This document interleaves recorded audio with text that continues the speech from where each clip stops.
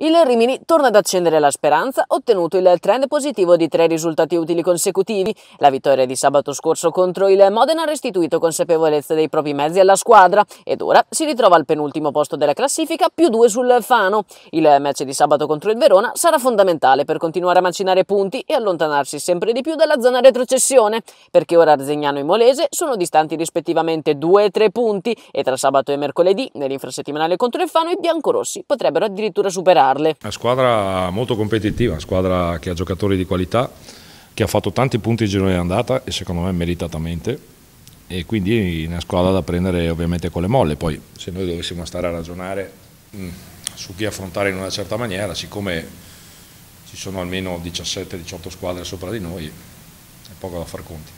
Nessuna anticipazione sulla formazione titolare, solo la certezza di Meli tra i pali e Messina come terzino. Candido e Letizia non saranno ancora delle match per infortunio, mentre per squalifica non ci saranno Finizio e Ambrosini.